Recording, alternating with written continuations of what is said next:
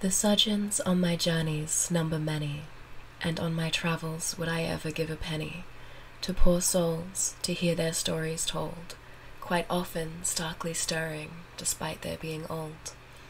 One was told me of a mountain, more a hill, that lost his lover long ago, yet still, from out its crumbling face it wept, and soggied all its tree-built beard, unkept. The tilled groves below, the people knew, were well drenched by his sadness too. The wiser folk warned of the mountain spring, but so named melancholies ignored everything. They swallowed water far surpassed their thirst, and limply floated in the fount face first. All of them by daylight sung and cried, but moaned and screamed at night time's noose-hung bride. The wiser folk heard these on the breeze, and spied far lanterns wander through the trees. Then after days passed without nary sound nor sight, they feared the melancholies victims of some ghastly plight. A group gathered to travel to the wood, to find the errant melancholies if they could.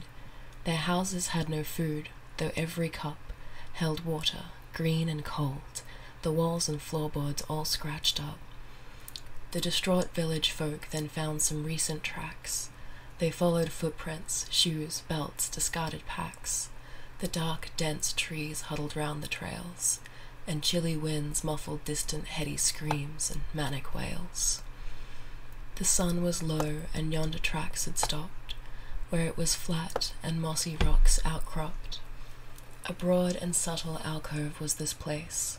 There the group found, strewn about the space, more clothes and boots and trinkets everywhere, amid matted tufts, what looked like human hair.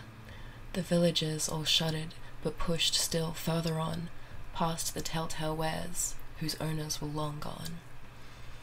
The rocks next flattened all about a pool, tear-shaped and still the water, green and cool. On the dimly glinting water's edge a cup, lo, multitudes were there without a sup. The water's source leaked out the alcove's back. Horizontal and curved downward was the crack. On the split, in dark clay drawn, an eye. 'Twas closed and sad. The water did it cry. The searching party was dismayed, but still called out, then cast up and down the hill, where night when they regrouped around the source, with no one found to make their downward course. The icy winds then pushed aside the shroud of a dank and white cold, blinding, foggy cloud, unveiling the night bride hanging suspended in the air, who lit the scene on high with rays like glass green hair.